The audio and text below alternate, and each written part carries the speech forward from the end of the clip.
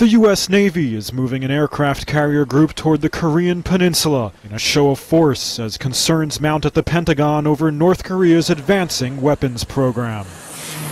The USS Carl Vinson and its support vessels are moving from Singapore, according to a government source, just weeks after the North conducted another ballistic missile test.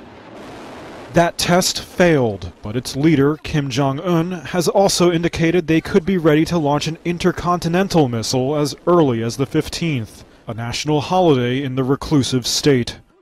The Navy regularly conducts patrols in the region, amplified during President Barack Obama's diplomatic pivot toward Asia. In fact, the Vinson itself was in a military exercise off South Korea's coast just last month.